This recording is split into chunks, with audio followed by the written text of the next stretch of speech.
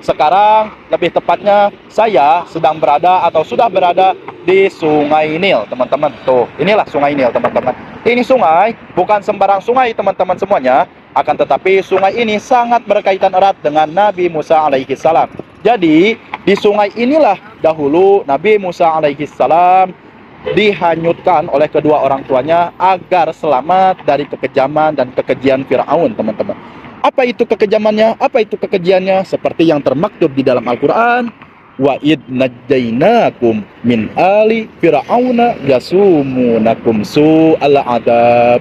Wa id najjainakum wa dan id ingatlah tatkala najjainakum kami selamatkan kalian min dari ali para bala tentara atau kolega Fir'aun Fir'aun yasumunakum mereka menimpakan kepada kalian. Su al adab su'a keji atau buruk al adab